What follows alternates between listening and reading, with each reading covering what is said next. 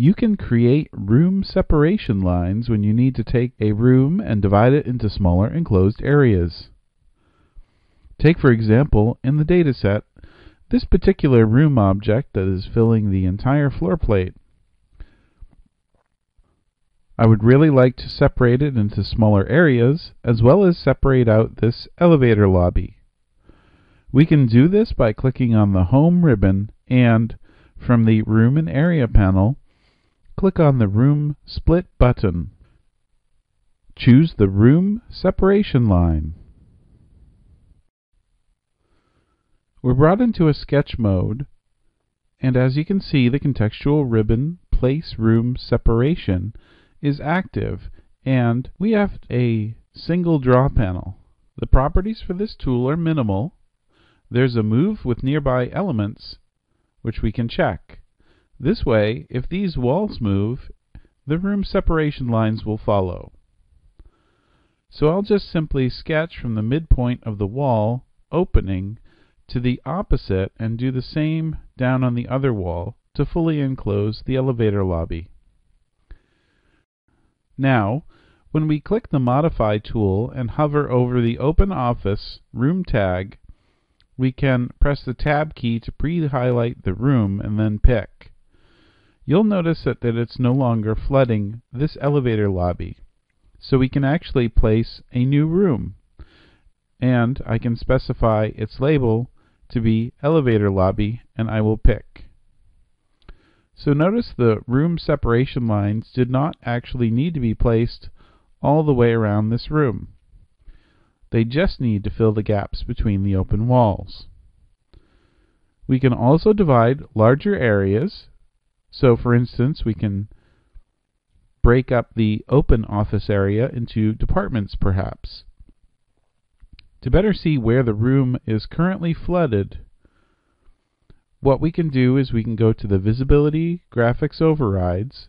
So I'll just type VV at the keyboard and I'll scroll down into the Model Categories tab to the Rooms and expand that and turn on the reference and interior fill and click OK. Now you can better see where the rooms are and if I go back up to the room tool split button and choose room separation line we can then start to sketch perhaps some divisions on column line 5. So I'll place one segment and then I'll remove chain from the options bar and I'll place another segment. And you can be as accurate as you need to be for this. And then I'll also enclose the whole conference room wing, if you will, separately from the model. I'll place rooms up in these areas. And actually, now that I can see where the rooms are placed and where this room is flooding, I'll notice that I missed creating one up near the top.